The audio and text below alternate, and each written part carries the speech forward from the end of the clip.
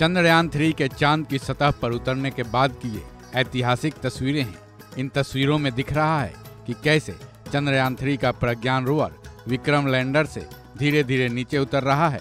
चंद second में rover चाँद की सतह पर जा पहुँचा, जिसके बाद रोवर अपने मिशन में लगा हुआ है। अब सबसे बड़ा सवाल ये है कि लैंडिंग से 14 दिन बाद प्रज्ञान रोवर और विक्रम लैंडर का क्या होगा? इसके लिए कुछ बातों को समझना ज़रूरी है। दरअसल, विक्रम लैंडर और प्रज्ञान रोवर की लाइफ एक लूनर डे धरती के 14 दिनों के बराबर होता है।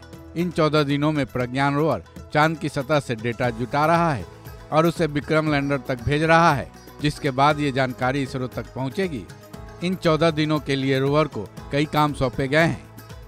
इन 14 दिनों में रोवर चाँद की सतह का मज़े से सफ़र करेगा, इन सीटू एक्सपेरिमेंट करेगा और चाँद के वायुमंडल की मौलिक संरचना को पढ़ेगा।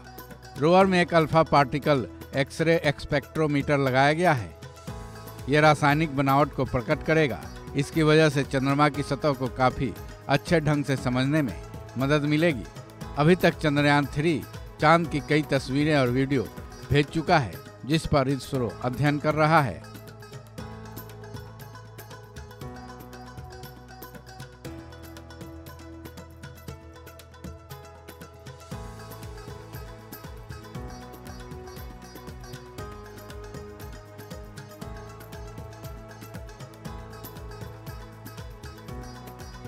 अब सबसे बड़ा सवाल यह है कि चंद्रयान थ्री का विक्रम लैंडर और प्रज्ञान रोवर चौदह दिनों का समय पूरा हो जाने के बाद क्या करेंगे?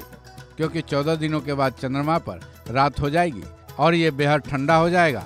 इसरो के मुताबिक चाँद पर जब रात होगी, तब उसकी गति बेहद धीमी हो जाएगी। वहीं इसरो के वैज्ञानिकों ने ये संभावना जताई है कि विक्रम लैंडर और प्रज्ञान रोवर अपने मिशन की तय अवधि के बाद भी काम कर सकते हैं। उम्मीद ये भी जताई जा रही है कि चंद्रमा के दूसरे लूनर डे यानी जब फिर वहाँ से सूर्य उगेगा, तब वे फिर से एक्टिव हो सकते हैं। हालाँकि ये संभावना भर ही है वास्तव में दूसरे लूनर डे में विक्रम लैंडर और प्रज्ञान रोवर के साथ क्या होगा, फ़िलहाल पुख्ते तरीके से नहीं कहा जा सकता है।